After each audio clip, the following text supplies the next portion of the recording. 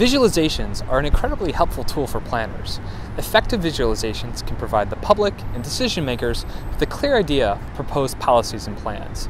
Visualizations can also help make information much more accessible than written or verbal descriptions. In these courses, we'll cover different approaches to visual simulation. These techniques employ Trimble SketchUp to create a 3D model. There is an expectation that you're already familiar with how to model in SketchUp.